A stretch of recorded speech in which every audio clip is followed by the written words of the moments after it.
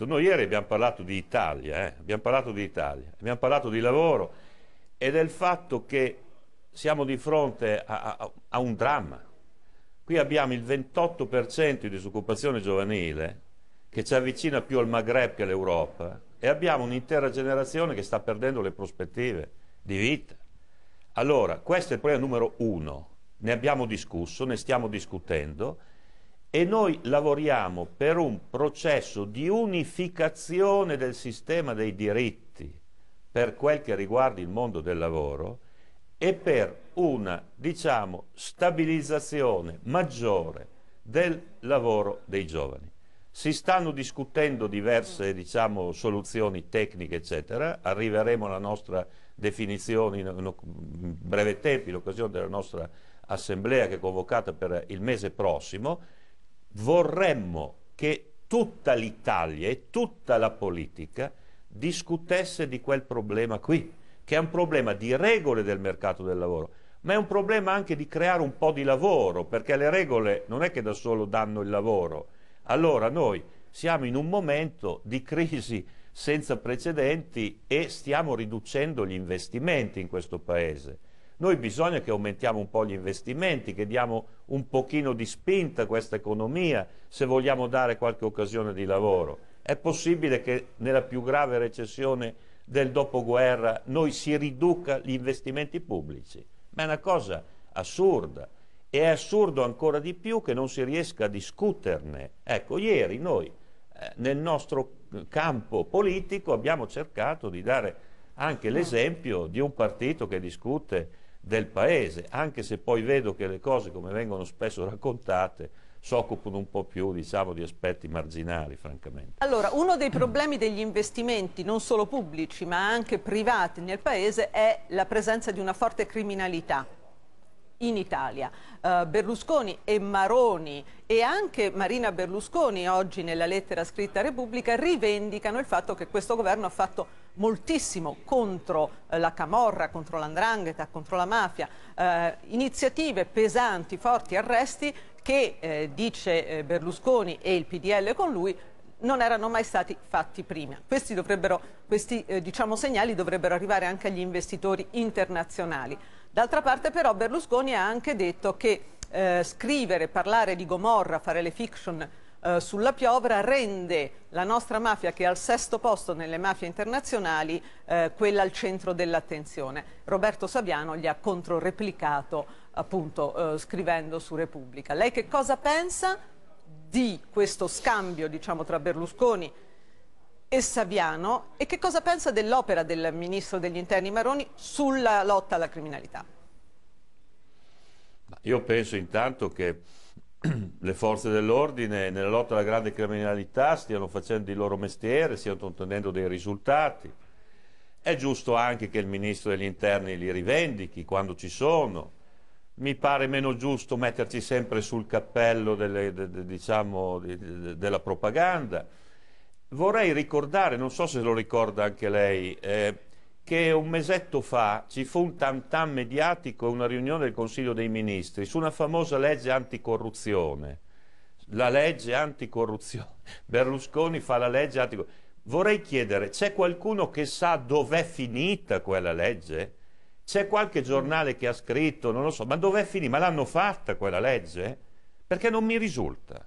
Ecco, questo è il mondo nel quale siamo un mondo nel quale un Presidente del Consiglio mm, così ritiene una libera diciamo, opinione dire sostanzialmente che chi scrive di mafia e di camorra alla fine, in ultima analisi, fa un piacere alla mafia e alla camorra. Cosa dovremmo concludere? Stiamo zitti? Stiamo zitti, cioè chiudiamo la bocca anche Saviano. Beh, mi paiono affermazioni fr francamente sconsiderate anche per chi le dicesse al bar, ma naturalmente dette poi da un Presidente del Consiglio, eh, per l'amor di Dio, oggi sento che viene rivendicata la libertà di opinione, ma per l'amor di Dio, libertà d'opinione c'è, ma si può dire che un'opinione è una sciocchezza? E si può dire che certe opinioni un Presidente del Consiglio non dovrebbe esprimerle? Questo credo che si possa dire. A proposito di opinioni, Bersani, eh, ieri avete parlato anche di comunicazione, di RAI ed è affiorata una cosa che come dire, mi risulta non nuova, fuori i partiti dalla RAI. Lei lo sa che lo sentiamo dire anche da voi del PD, che poi invece avete avuto PD, PDS, eccetera, eccetera, avete avuto larga parte anche nella uh, scelta delle poltrone della RAI tradizionalmente. Ecco, questa cosa qui, fuori i partiti della RAI, è riecaggiata anche ieri. Cosa c'è di diverso, segretario, con lei ora alla guida del PD rispetto alla storia dell'intromissione dei partiti nella RAI degli ultimi 50 anni? Ripeto, eh, sinistra inclusa? Ma se di diverso che ho detto una cosa semplice, cioè che c'è una goccia che ha fatto traboccare il vaso. Cioè le ultime elezioni abbiamo visto la chiusura del talk show, un'intera settimana occupata dal Presidente del Consiglio anche nella TV pubblica con effetti evidenti sulle elezioni e la settimana dopo il Presidente del Consiglio che si lamenta della RAI TV. Ecco, basta. Allora, la novità è che ieri abbiamo detto e deciso di presentare un progetto di legge che, nel senso fuori partita RAI, cosa vuol dire? Vuol dire che quella è un'azienda che deve essere ricondotta al codice civile, deve avere un amministratore delegato, eletto, con, nominato con elementi di garanzia, quel che si vuole, e deve poter come si agisse in un'impresa indipendente.